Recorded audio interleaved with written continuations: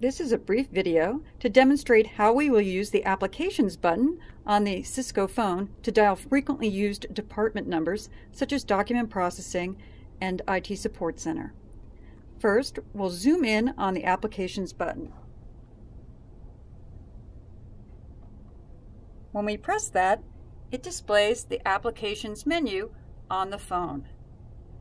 The green tile, which is currently named PH Corporate Services, will be renamed firm-wide departments.